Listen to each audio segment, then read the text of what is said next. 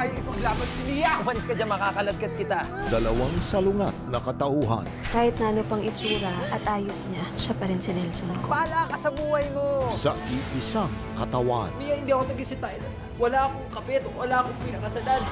Si Mia lang yung pinakasalan ko. Wala akong split personality. Sa natatanging pagganap ni Ken Chan. Maniwala kayo sa akin. Ang dalawang ikaw sa GMA Afternoon Prime.